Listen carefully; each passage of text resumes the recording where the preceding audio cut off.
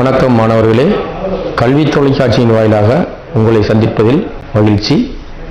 இன்றைய பாட பகுதியில் நாம் வந்து பி தொகுதி தனிமங்கள் ஒன்று அந்த பகுதியில் போரான் குடும்ப தனிமங்கள் அதனுடைய சேர்மங்களை பற்றி பார்க்க போகிறோம் சென்ற பாட பகுதியில் நம்ம பி தொகுதி தனிமங்களுடைய உலோக பண்பு அதனுடைய ஆக்சிஜனேட்ட நிலை மந்த இணை விளைவு இது போன்ற பொதுவான பண்புகளை நாம் சென்ற வகுப்பில் பார்த்துருப்போம். இப்போ போரான் குடும்ப தனிமங்களை பற்றி பார்க்க போகிறோம் அதுலேயும் குறிப்பாக போரான் குடும்பத்தில் போரான் மற்றும் அதனுடைய சேர்மங்கள் அலுமினியம் அதனுடைய சேர்மங்களை பற்றி பார்க்க இருக்கிறோம். இப்போ போரான் குடும்ப தனிமத்தில் boron aluminium gallium indium thallium இருக்குது இதனுடைய அணியன் பார்த்திங்கன்னா ஐந்து போரானுக்கு அணியன் ஐந்து அலுமினியம் அணியன் பதிமூணு கேலியம் முப்பத்தொன்று இண்டியம் நாற்பத்தொம்போது தேலியம் எண்பத்தொன்று இதெல்லாம் இதனுடைய அணியன்கள். அடுத்து ஒரு சிறப்பு என்னென்னா இந்த குடும்ப தனிமங்கள் அனைத்துக்குமே ஐசோடோப்புகள் இருக்குது நம்ம ஏற்கனவே சொல்லியிருக்கோம் பீத்தொகுதி தனிமங்கள் அனைத்தும் பெரும்பாலும் ஐசோடோப்புகள் காணப்படுதுன்னு. இந்த போரான் குடும்ப தனிமங்கள் அனைத்துமே ஐசோடோப்புகள் நிலையில் காணப்படுது. போரான் பதினொன்று அலுமினியம் இருபத்தி ஏழு கேலியம் அறுபத்தொம்போது இண்டியம் நூற்றி பதினஞ்சு டேலியம் இரநூத்தி ஐந்து அதாவது இந்த நம்பர்லாம் வந்து நமக்கு தெரியும் ஐசோடோப்னா அதெல்லாம் வந்து எதை குறிக்கக்கூடியது? நிறைய எண்ணெய் குறிக்கக்கூடியது. அணு நம்ம ஏற்கனவே மேலே சொல்லியிருக்கோம். அந்த அட்டவணையில் நீங்கள் பார்த்தீங்கன்னா தெரியும். அடுத்து அணு நிறை இது பொதுவான அணு நிறை குறிக்கப்பட்டிருக்கு. போரானுக்கு பத்து புள்ளி எட்டு ஒன்று அலுமினியம் இருபத்தாறு புள்ளி ஒம்பது எட்டு கேலியம் அறுபத்தொம்போது புள்ளி ஏழு ரெண்டு இண்டியம் நூற்றி பதினாலு புள்ளி எட்டு ஒன்று தேலியம் இர இரநூத்தி நாலு புள்ளி மூணு எட்டு. இதனுடைய பொதுவான எலக்ட்ரான் அமைப்பு அதாவது அதனுடைய மொத்த எலக்ட்ரான் அமைப்பு. இப்போ போரான் அணியன் ஐந்து அப்படின்னா அதனுடைய எலக்ட்ரான் அமைப்பு. இப்போ அந்த மந்தவாயுக்களுடைய எலக்ட்ரான் அமைப்பை சொல்லி வெளிக்கூட்டு எலக்ட்ரான் அமைப்பை நம்ம குறிப்பிட்டிருக்கோம் போரானுக்கு ஹீலியம் எலக்ட்ரான் அமைப்பு ஒன் எஸ் டூ அதை நம்ம ஹீலியம்னு குறிப்பிடலாம். அதனால் வெளிக்கூட்டு எலக்ட்ரான் அமைப்பை மட்டும் நம்ம குறிப்பிடுறோம். அதுக்கு முந்தையதை மந்தவாயுக்களுடைய எலக்ட்ரான் அமைப்பாக நம்ம சொல்லிக்கிறோம். அப்போ போரானுக்கு ஹீலியம் தன்னுடைய எலக்ட்ரான் அமைப்பு two s two two p one அதே மாதிரி அலுமினியத்துக்கு போகிறப்ப அடுத்த மந்தவாயுவான நியான் அமைப்பு அதோட வெளிக்கூடானது three s two three p one அதே மாதிரி கேலியம் வர்றப்ப ஆர்கான் மந்தவாயினுடைய அமைப்பு அதோட வெளிக்கூடான three d ten four s two four p one அடுத்து இண்டியம் கிரிப்டானுடைய எலக்ட்ரான் அமைப்பு அதோட வெளிக்கூடு எலக்ட்ரான் அமைப்பாக four d ten five s two five p one அதே மாதிரி தேலியம் பார்த்தீங்கன்னா ஜெனான் அதனுடைய எலக்ட்ரான் அமைப்பு வெளிக்கூடான four f four fourteen five d ten six s two six p one இதெல்லாம் வந்து போரான் குடும்ப தனிமங்களுடைய ஒரு பொதுவான பண்புகள் பார்த்தோம். அடுத்து போரானினுடைய முக்கியமான வேதி வினைகளை நம்ம பார்க்க இப்போ போரானுடைய முக்கிய சேர்மமான டைபோரேன். டைபோரேன் அது வந்து எப்படி கிடைக்குது அப்படின்னா போரான் ஃப்ளூரைட் அதாவது போரான் ட்ரைஃப்ளூரைடை சோடியம் ஹைட்ரைடோட நம்ம வினைப்படுத்தினோம்னா நானூற்றி எண்பது கெல்வின் வெப்பநிலையில் வெப்பப்படுத்தி வினைப்படுத்தும் போது டைபோரேன் நமக்கு கிடைக்குது. பி டூ ஹச் சிக்ஸுங்கிறது டைபோரேனுடைய வாய்ப்பாடு பிஎஃப் த்ரீங்கிறது போரான் ட்ரைஃப்ளோரைடு என்ஏஹெச் என்பது சோடியம் ஹைட்ரேட் இதில் முக்கிய விளைபொருளாக நமக்கு டைபோரேன் கிடைக்குது. இதே மாதிரி போரான் நைட்ரேடையும் நம்ம போரானை நைட்ரஜனோட வினைப்படுத்தி போரான் நைட்ரேடை நம்ம பெற முடியும். இப்போ போரான் எடுத்து நம்ம நைட்ரஜனோட வினைப்படுத்துகிறோம் போரான் ப்ளஸ் நைட்ரஜன் நமக்கு அதை வெப்பப்படுத்துகிறப்ப நமக்கு போரான் நைட்ரேட் அதாவது பிஎன் அப்படிங்கிறது போரான் நைட்ரைடு சேர் அடுத்து போரான் அமிலங்களோடையும் காரத்தோடையும் எப்படி வினைப்படுது போரான் போடுறோம் ப்ளஸ் ஹசிட்டுஎஸ்ஓ போரான் நமக்கு தெரியும் சல்ஃபியூரிக் அமிலம்னு சொல்கிறோம் அல்லது கந்தக அமிலம்னு சொல்லலாம். வினைப்படுத்துகிறப்ப நமக்கு முக்கிய சேர்மமாக ஒரு போரிக் அமிலம் ஹச் த்ரீ பிஓ த்ரீ இது வந்து ஒரு முக்கியமான போரான் சேர்மத்தில் வருது போரிக் அமிலம். ப்ளஸ் உடன் விளைபொருளாக நமக்கு சல்ஃபர் டை ஆக்சைடு போரான் கந்தக அமிலத்தோடு வினைப்பட்டு போரிக் அமிலம் முக்கிய விளைபொருளாக நமக்கு கிடைக்கக்கூடிய ஒரு வினை. அடுத்து காரத்தோடு வினை. காரம்னா நமக்கு உதாரணமாக பெரும்பாலும் சோடியம் ஹைட்ராக்சைடு பொட்டாசியம் ஹைட்ராக்சைடு எடுத்துக்கிடுவோம். இங்கே சோடியம் ஹைட்ராக்சைடை எடுத்து நம்ம போரானோட வினை. போரான் சோடியம் ஹைட்ராக்சைடோடு வினைப்பட்டு நமக்கு ஒரு அஹ், சோடிய சேர்மம் சோடிய உப்பு அதாவது சோடியம் போரேட் கிடைக்கிது. என்ஏ த்ரீ பிஓ பிஓ த்ரீங்கிறது சோடியம் போரேட் ப்ளஸ் ஹைட்ரஜன் வாயு இதில் உடன் விளைபொருளாக வெளியாகும் போரானினுடைய பயன்கள். இப்போ அணுமின் உலைகளில் பொடியாக வரக்கூடிய நியூட்ரான்களை உறிஞ்சுவதற்காக இந்த போரான் பயன்படுத்துகிறாங்க அதுவும் குறிப்பாக போரானினுடைய ஐசோட்டோப் அணுநிறை பத்து கொண்ட அணியின் ஐந்து இருக்கக்கூடிய போரானின் ஐசோட்டோப்பு அணுமின் உலைகளில் அந்த அதிகப்படியாக வரக்கூடிய நியூட்ரான்களை உறிஞ்சுவதற்காக இது பயன்படுது போரானின் ஐசோட்டோப் அடுத்து படிக வடிவமற்ற போரான் ராக்கெட் எரிபொருளில் ஒரு இக்னிஷனாக அதாவது எரியூட்டுவதற்காக பயன்படுது. அடுத்து மூணாவதாக இது தாவர செல்ல இந்த போரான் வந்து ஒரு முக்கிய ஒரு பகுதி பொருளாக இருக்கு. தாவர செல் என்னுடைய செல்லுடைய பகுதி பொருளாக இருக்கு. அப்போ செல்லை வந்து பாதுகாக்கிறதுல இந்த போரான் ஒரு பங்காற்றுகிறது. இப்போ போரானை பற்றி நம்ம பார்த்தோம். போரானினுடைய ஒரு முக்கிய சேர்மமாக நம்ம போராக்ஸ் எடுத்துக்கலாம். போராக்ஸ் அதனுடைய வாய்ப்பாடு NA two B four O seven ten H two O அதாவது அது decahydrate. NA two B four O செவன்கிறது அதாவது டெட்ரா போரிக் அமிலத்தினுடைய சோடிய உப்பு அப்படின்னு சொல்லலாம். டெட்ரா போரிக் அமிலத்தினுடைய சோடிய உப்பத்தை நம்ம அதாவது நீரேற்றம் பெற்ற டெட்ரா போரிக் அமிலத்தின் சோடிய உப்பு அதுதான் போராக்ஸ் அப்படிங்கிறது. இல்லை சோடியம் டெட்ரா போரேட் டெக்காஹைட்ரேட் அப்படின்னு சொல்லலாம். இந்த போராக்ஸ் முழு பேரா sodium tetra borate deca hydrate டெக்கானா பத்து. ஹைட்ரேட்னா அந்த ஹச் டூ குறிக்கிறது. அதுதான் டெக்கா ஹைட்ரேட்டுங்கிறோம் இப்போ இதனுடைய தயாரிப்பு முறை பார்ப்போம். போராக்ஸ் வந்து கோலிமினைட் அப்படிங்கிற ஒரு சேர்மத்திலிருந்து. கோலிமினைட் தாதுங்கிறது என்ன? அதனுடைய வாய்ப்பாடு என்னன்னா CA two B six O eleven இது வந்து ஒரு கால்சியம் போரான் சேர்ந்த ஆக்சைடு சேர்மம். அதுதான் கோலிமனைட்டுங்கிறோம் இதை சோடியம் கார்பனேட் கரைசலில் நீர் கரைசலில் நம்ம கொதிக்க வைக்கிறோம். கொதிக்க வைக்கும்போது நமக்கு முக்கிய விளைபொருளாக போராக்ஸ் கிடைக்குது. NA two B four O seven அதாவது நீரற்ற ஒரு போ போராக்ஸ் கிடைக்குது. NA two B four O seven plus உடன் விளைபொருளாக நமக்கு கால்சியம் கார்பனேட் கால்சியம் ஹைட்ராக்சைடு இதெல்லாம் கிடைக்குது. நம்ம முக்கிய விளைபொருளான இந்த போராக்ஸை பிரித்து எடுக்கும் ரைட் இது வந்து போராக்ஸினுடைய தயாரிப்பு முறைகளில் ஒரு முக்கியமான ஒரு முறை. அடுத்து இந்த போராக்ஸினுடைய முக்கியமான ஒரு வேதி பண்புகளை பற்றி நம்ம பார்ப்போம். இப்போ இந்த போராக்ஸ் வந்து வெப்பப்படுத்தும் போது போராக்ஸ்னால் நம்ம ஏற்கனவே என்னன்னு சொல்லிட்டோம். நீரேற்றம் பெற்ற நிலையில் இருக்கக்கூடிய போரிக் அமிலத்தினுடைய சோடியம் டெட்ரா போரேட் அப்படின்னு. அதை வெப்பப்படுத்துகிறப்ப அந்த போராக்ஸில் இருக்கக்கூடிய நீர் மூலக்கூறுகள் அனைத்தும் வெளியாகி போயிடுது நீக்கமடையுது. அதனால் NA two B four O seven சொல்லக்கூடிய சோடியம் டெட்ராபோரேட் மட்டும் நமக்கு கிடைக்கிறது. இதை மீண்டும் தொடர்ந்து வினை வெப்பப்படுத்துகிறப்ப நமக்கு சோடியம் மெட்டாபோரேட் அதாவது என்ஏ பிஓ டூங்கிற சேர்மம் உருவாகுது ப்ளஸ் உடன் விளைபொருளாக boron trioxide B two O த்ரீங்கிற ஒரு சேர்மமும் உருவாகுது.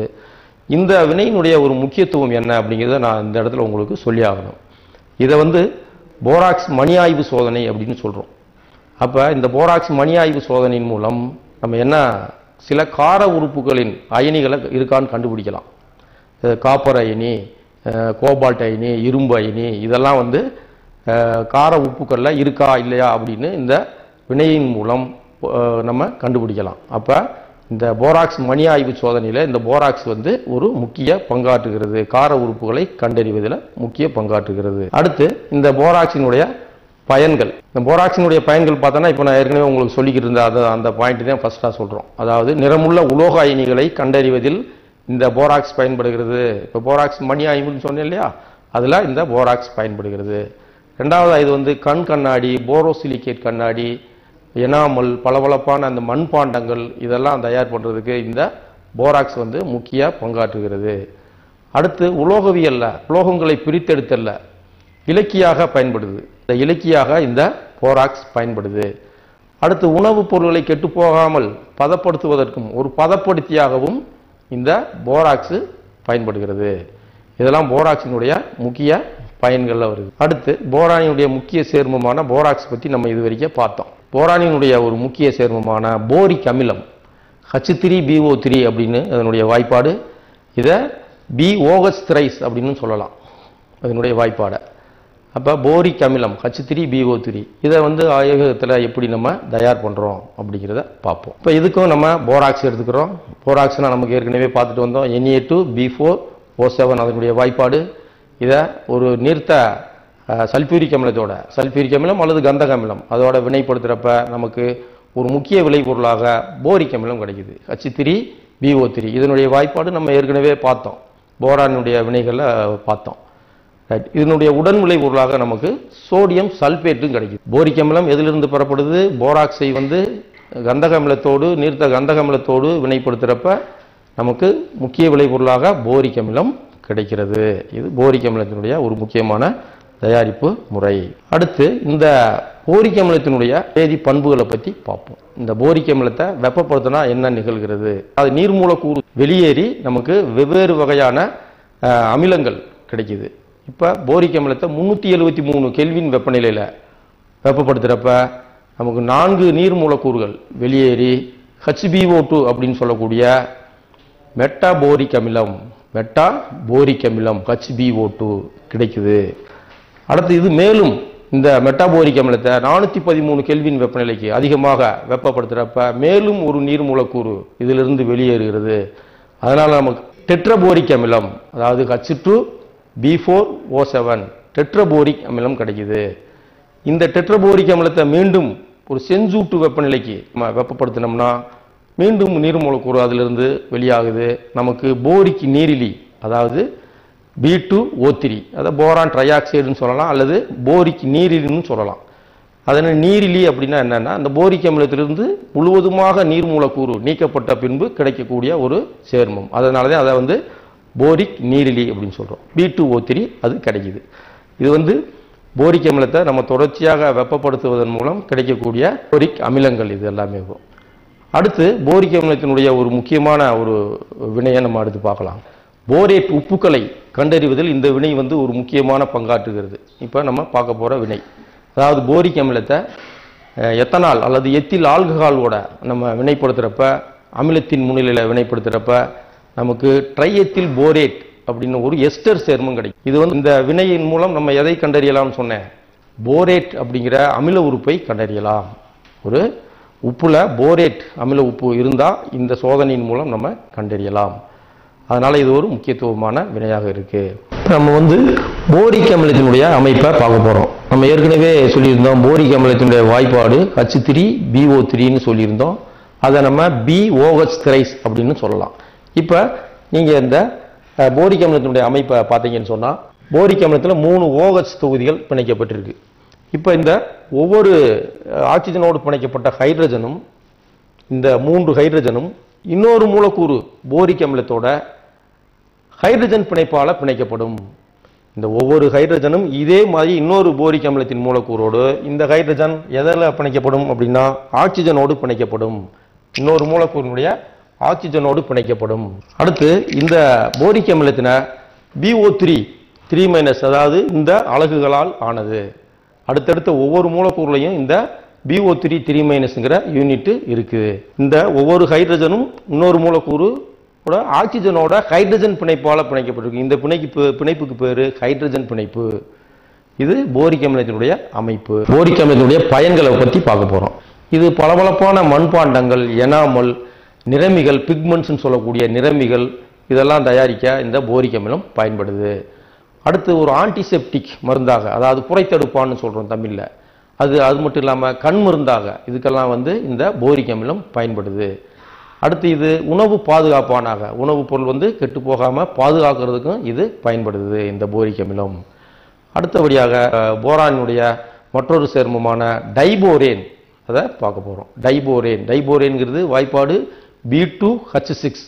அதாவது போரானினுடைய ஹைட்ரஜன் சேர்மம். போரான் ஹைட்ரைடு சேர்மங்களை நம்ம போரேன். போரேன் அப்படின்னு சொன்னாலே போரான் ஹைட்ரைடு சேர்மங்களைத்தான் போரேன்கள் அப்படின்னு சொல்கிறது அதில் ஒரு எளிய போரேன் டைபோரேன் அப்படிங்கிறது. இதனுடைய தயாரிப்பு முறையை நம்ம இப்போ பார்க்க போகிறோம் இது சோடியம் போரோஹைட்ரேட் என்ஏ பிஹெச் ஃபோர்ங்கிறது சோடியம் போரோஹைட்ரேட் இதை எடுத்து நம்ம அயோடினோட வினைப்படுத்தினோம்னா நமக்கு டைபோரேன் ஒரு முக்கிய சேர்மமாக கிடைக்குது. பி டூ ஹெச் சிக்ஸ் கிடைக்குது. இந்த டைபோரேனுடைய முக்கியமான சில பண்புகளை பார்ப்போம். குறிப்பாக அதனுடைய வெப்ப வெப்பத்தினால் ஏற்படக்கூடிய மாற்றத்தை பார்ப்போம்.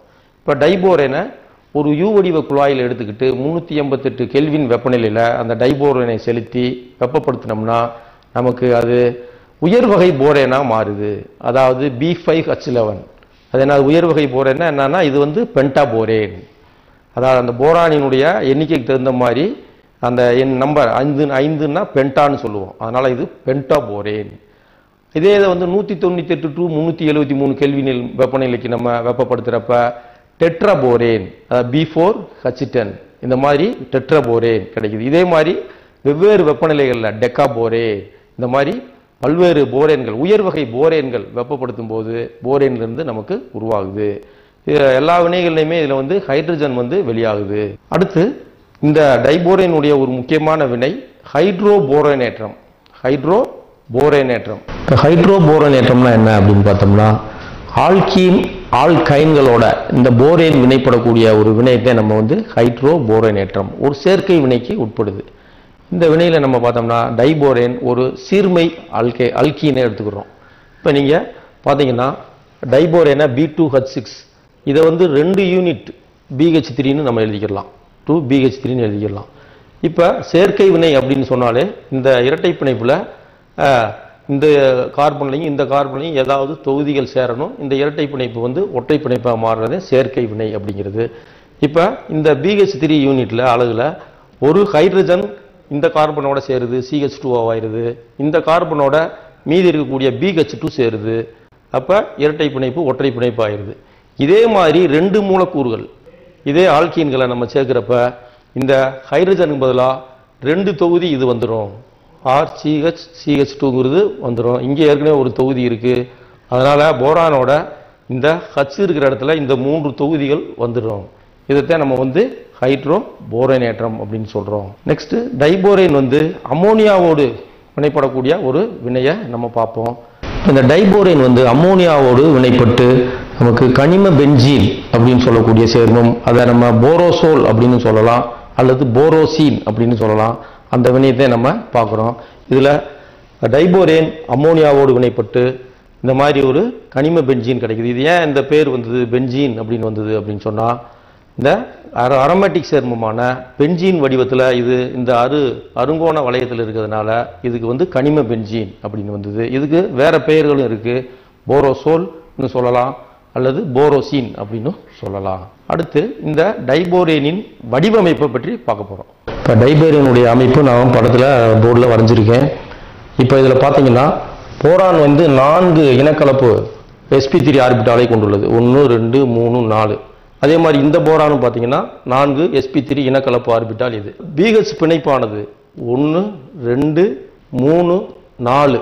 நான் இங்கே ஒன்று ரெண்டு மூணு நாலு அஞ்சு ஆறு ஏழு எட்டு. பிஹெச் பிணைப்புகள் மொத்தம் எட்டு இருக்குது ஆனால் எலக்ட்ரான்கள் வந்து அப்போ எட்டு இருந்ததுன்னா எலக்ட்ரான்கள் வந்து பதினாறு இருக்கணும். ஆனால் இங்கே பன்னிரெண்டு எலக்ட்ரான்கள் தான் வருது. ரெண்டு நாலு ஆறு எட்டு பத்து பன்னிரெண்டு அப்போ இந்த எஸ்பி த்ரீ இனக்கலப்பு ஆர்பிட்டாலில் மூணு ஆர்பிட்டாலில் மட்டும் ஒரு தனித்த எலக்ட்ரான் இருக்குது ஒரு எலக் ஒரு ஆர்பிட்டால் காலியாக இருக்குது அப்போ இந்த எலக்ட்ரான் இருக்கக்கூடிய ஆர்பிட்டாலும் இந்த முனையில் பார்த்தீங்கன்னா இந்த ஹைட்ரஜனோட ஒரு எலக்ட்ரானோட சேர்ந்து பிஹெச் பிணைப்பு உருவாயிருது. அதே மாதிரி இந்த ஹைட்ரஜனுக்கு. இதில் முனையில் பார்த்தீங்கன்னா இங்கே என்ன சொன்னமோ அதே மாதிரி பிணைப்பு ஏற்படுது. ஆனால் இந்த பிணைப்பு வந்து ஒரு காலியான ஆர்பிட்டால் இருக்கணும் ஒரு இதில் தான் எலக்ட்ரான் ஒன்று இருக்குன்னு சொன்னோம் அப்போ இன்னொரு எலக்ட்ரான் எதோட இரு எலக்ட்ரான் அப்படின்னு சொன்னால் இந்த ஹைட்ரஜனுடைய எலக்ட்ரான் அப்போ ஒரு காலியான போரானினுடைய இனக்கலப்பு ஆர்பிட்டாலும் ஒரு எலக்ட்ரானை கொண்ட இனக்கலப்பு ஆர்பிட்டாலும் இந்த ஹைட்ரஜனில் இருக்கக்கூடிய ஒன்எஸ் எலக்ட்ரானுடைய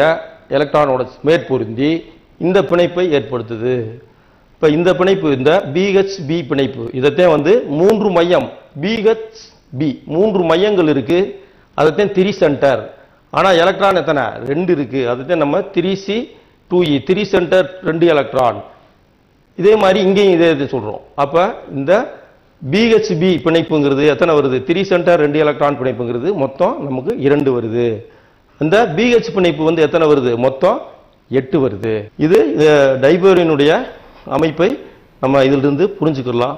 அடுத்து டைபோரினுடைய பயன்கள் பார்க்க போகிறோம் டைபோரியனானது உந்திகள்ல பயன்படுது. அதில் எப்படி பயன்படுனா ஆற்றல் எரிபொருளாக பயன்படுது. அடுத்து ஒடுக்கும் கரணியாக இந்த டைபோரேன் கரிம வேதிவினைகளில் பயன்படுது.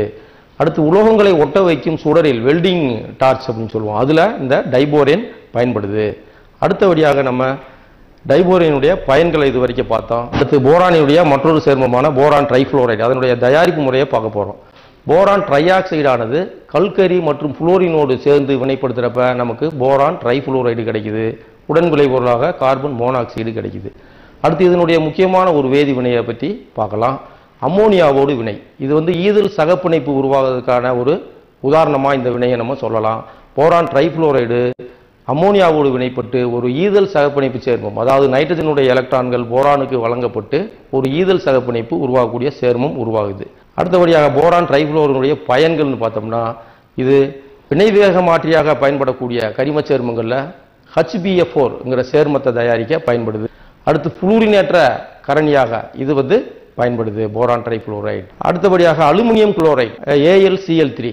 இது வந்து இந்த சேர்மம் ஒரு அலுமினியத்தினுடைய சேர்மம். இது வரைக்கும் நம்ம பார்த்ததெல்லாம் போரான் சேர்மம். இப்போ அலுமினியத்தினுடைய சேர்மமாக அலுமினியம் குளோரைடு பார்க்குறோம். இதனுடைய தயாரிப்பு முறை இது மெக்காஃபி செயல்முறை அப்படிங்கிற ஒரு செயல்முறையில் இந்த அலுமினியம் குளோரைடை தயாரிக்கலாம்.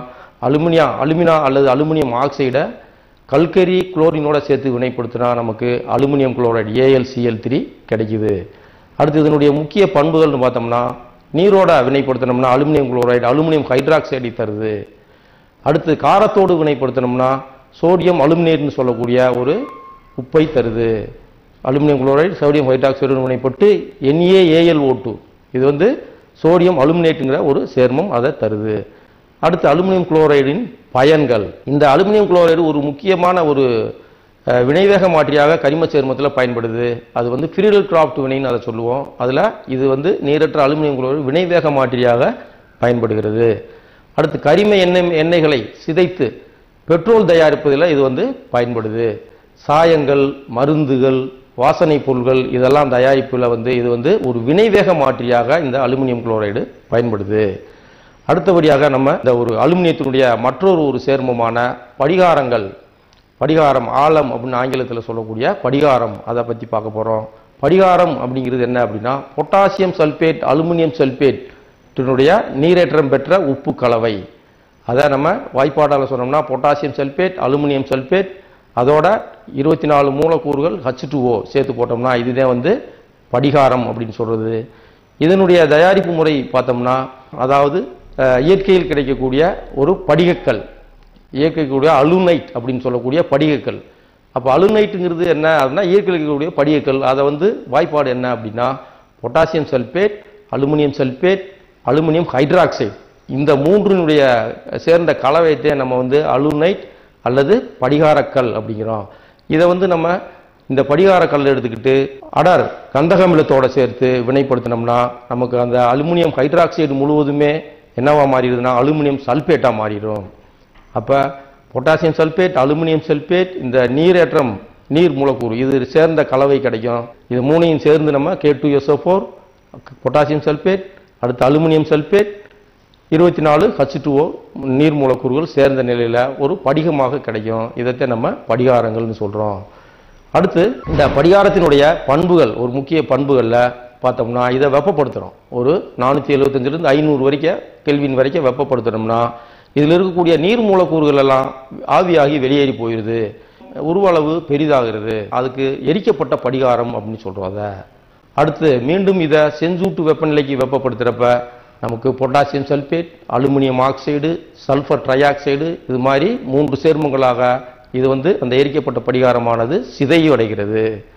அடுத்து இந்த படிகாரத்தினுடைய பயன்கள் நீரை தூய்மைப்படுத்தக்கூடிய தொழிற்சாலைகளில் நீர் சுத்திகரிப்பானாக பயன்படுகிறது. அடுத்து நீரோட்டாத ஆடைகள் தயாரிப்பிலையும் ஜவுளித்துறையிலையும் இது பயன்படுது.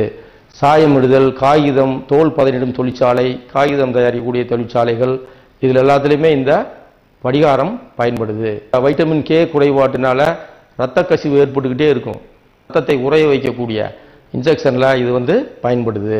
அதைத்தான் வந்து குருதி தடுப்பான். இரத்த கசிவை தடுக்கும் குருதி தடுப்பான் மருந்துகளில் ஊசி மருந்துகளில் இந்த படிகாரத்தை பயன்படுத்துகிறாங்க இதெல்லாம் வந்து படிகாரத்தினுடைய முக்கிய பயன்களாக நம்ம பார்த்தோம். மாணவர்களே நாம் இதுவரைக்கும் போரான் குடும்ப தனிமங்கள் பி தொகுதி தனிமங்களில் அதுவும் குறிப்பாக போரான் அலுமினியம் சேர்மங்களை பற்றி பார்த்தோம். அதுக்கு முன்னாடி போரான் குடும்ப தனிமங்களுக்கு மொத்தத்துக்குமே வந்து சில இயற்பியல் பண்புகளை பார்த்தோம். அது வந்து அதனுடைய அணியன் அதனுடைய ஐசோட்டோப்பு அதனுடைய எலக்ட்ரான் அமைப்பு இது போன்ற பண்புகளை நம்ம போரான் குடும்ப தனிமங்களுக்கு பார்த்தோம். அடுத்தபடியாக போரானுடைய முக்கியமான வேதி வினைகளை பார்த்தோம். போரான் இந்த சோடியம் ஹைட்ரோட எப்படி வினைப்படுது நைட்ரஜனோட எப்படி வினைப்படுது இது மாதிரி ஒரு முக்கியமான போரானின் வினைகளை பார்த்தோம். அடுத்து அமிலங்காரத்தோட எப்படி வினைப்படுது போ- போரான் அப்படிங்கிறத பார்த்தோம். போரானினுடைய பயன்கள் முக்கியமான பயன்கள் என்ன அப்படின்னு பார்த்தோம். அடுத்தபடியாக போரானின் சேர்மங்களான போராக்ஸ் முக்கியமான ஒரு சேர்மமான போராக்ஸை பற்றி பார்த்தோம். அதனுடைய முக்கியத்துவம் பற்றி பற்றி நான் உங்களுக்கு சொன்னேன். அடுத்து அதனுடைய தயாரிப்பு முறையை பார்த்தோம். அடுத்து அதனுடைய பண்புகளில் முக்கியமாக போராக்ஸ் மணி ஆய்வு பற்றி நான் சொன்னேன். கார உறுப்புகளை கண்டறிவதில் அது முக்கியமாக அந்த போராக்ஸ் மணி ஆய்வு பயன்படுது அப்படிங்கிறத சொன்னோம். அடுத்தபடியாக போரானின் முக்கிய சேர்மமான போரிக் அமிலம் ஹச் த்ரீ பிஓ த்ரீ அதனுடைய தயாரிப்பு முறை பார்த்தோம். அது போராக்ஸ்லேருந்து எப்படி நம்ம தயார் பண்ணுறோம் அப்படிங்கிறத தயாரிப்பு முறை பார்த்தோம். அடுத்தபடியாக அந்த போரிக் அமிலத்தினுடைய முக்கியமான வேதி வினைகள் பார்த்தோம். போரிக் அமிலத்தை வெப்பப்படுத்துறதுனால என்ன வருது? என்னென்ன அமிலங்கள் வருது? மெட்டா போரிக் அமிலம் டெட்ரா போரிக் அமிலம் போரிக் நீரிலி இதெல்லாம் வருதுங்கிறத பார்த்தோம். போரிக் அமிலத்தினுடைய ஒரு முக்கியமான வினை அதாவது போரேட்டு உப்புக்களை கண்டறியக்கூடிய ஒரு வினை பார்த்தோம். அந்த ஆல்கஹாலோட வினைப்படுத்தி போரிக் அமிலத்தை நமக்கு வந்து ஒரு போரேட் ட்ரையத்தில் போரேட்னு ஒரு சேர்மம் வந்தது. அது ஒரு முக்கியமான ஒரு போரேட் உப்பை கண்டறிவதற்கான ஒரு முக்கியமான வினைன்னு பார்த்தோம். அடுத்து போரிக் அமிலத்தினுடைய அமைப்பை பார்த்தோம். ஒவ்வொரு போரிக் அமிலத்திலையும் இருக்கக்கூடிய அந்த ஆக்சிஜன் ஆனது மற்ற மூலக்கூறில் இருக்கக்கூடிய ஹைட்ரஜனோடு பிணைக்கப்பட்டு ஹைட்ரஜன் பிணைப்பை ஏற்படுத்தி இருக்குது அப்படின்னு சொல்லி போரிக் அமிலத்தினுடைய அமைப்பை விரிவாக நம்ம பார்த்தோம். அடுத்து போரிக் அமிலத்தினுடைய பயன்களை பார்த்தோம். இது வந்து மண்பாண்டங்கள் செய்ய புரைத்தடுப்பானாக மருந்தாக இப்படியெல்லாம் பயன்படுது உணவு பாதுகாப்பானாக பயன்படுது இப்படியெல்லாம் பார்த்தோம். அதனுடைய முக்கிய பயன்களை. அடுத்து போரானின் ஒரு முக்கியமான சே சேர்மம் அந்த டைபோரின் இருக்கிறதுனால வடிவமைப்பு பார்த்தோம். டைபோரினுடைய வடிவமைப்பு. அதில் என்ன டைபோரினுடைய வடிவமைப்பில் முக்கியமாக அந்த த்ரீ சென்டர் டூ எலக்ட்ரான் அப்படிங்கிற ஒரு பிணைப்பு. அது ஒரு முக்கியமான ஒரு பிணைப்பு அந்த சேர்மத்திலே. அதை பார்த்தோம். அடுத்து டைபோரேனினுடைய பயன்களை பார்த்தோம். டைபோரேன் பயன்கள். அது ஒரு ரெண்டு பயன்களை சொன்னோம். அது கரிம சே- ஒடுக்கும் காரணியாக பயன்படுது இந்த மாதிரி சொன்னோம். அடுத்து போரான் ட்ரைஃப்ளோரைட். போரானுடைய ஒரு சேர்மமான போரான் ட்ரைஃப்ளோரைடை பார்த்தோம். அதனுடைய தயாரிப்பு முறை அதனுடைய வேதி பண்புகள் பயன்கள் இதெல்லாம் பார்த்தோம். அடுத்து அலுமினியத்தினுடைய சேர்மத்துக்கு அடுத்து போனோம். அலுமினியத்தினுடைய சேர்மமான அலுமினியம் குளோரைடு. அதனுடைய தயாரிப்பு முறை பார்த்தோம். பண்புகள் பார்த்தோம். அடுத்து இந்த அலுமினியத்தினுடைய ஒரு முக்கியத்துவத்தை பற்றி நான் சொன்னேன். கரிம வேதியியலில் வந்து இது வந்து ஃபிரில்ட்ராப்ட் வினை அப்படின்னு சொல்லக்கூடிய ஒரு வினையில் வினைவேக மாற்றியாக பயன்படுது. இது வந்து ஒரு முக்கியத்துவமான ஒரு வினைவேக மாற்றி இந்த அலுமினியம் குளோரைடு அப்படிங்கிறத நான் குறிப்பிட்டு சொன்னேன். அதே மாதிரி அடுத்தபடியாக படிகாரங்கள். இந்த படிகாரங்கள் வந்து நீரை சுத்திகரிக்கக்கூடிய தொழிற்சாலைகளில் முக்கியத்துவம் வாய்ந்தது அப்படின்னு சொன்னேன். அதனுடைய தயாரிப்பு முறை பார்த்தேன். அந்த அலுநீர்னு சொல்லக்கூடிய படிகாரக்கல்லிருந்து அதை நம்ம சல்பூரிக் அமிலத்தை சேர்த்து தயாரிக்கலாம் அப்படிங்கிறத நம்ம பார்த்தோம். அடுத்து இந்த படிகாரத்தினுடைய முக்கிய பயன்களை நம்ம சொன்னோம். அந்த நீர் சுத்திகரிப்பில் பயன்படுது. ரத்த இரத்த கசிவை தடுக்கும் ஊசி மருந்தில் இந்த படிகாரத்தை பயன்படுத்துகிறாங்க சாயமிடுதல் நீர் ஒட்டாத ஆடைகள் தயாரிப்பில் பயன்படுது இப்படின்னெல்லாம் அதனுடைய பயன்களை பார்த்தோம் மாணவர்களே. இந்த பாடப்பகுதி அனைத்துமே உங்களுக்கு நன்றாக புரிந்திருக்கும்னு நினைக்கிறேன் மாணவர்களே. இந்த கல்வி தொலைக்காட்சியின் வாயிலாக உங்களை சந்திப்பதில் மிக்க மகிழ்ச்சி மாணவர்களே. நன்றி வணக்கம்.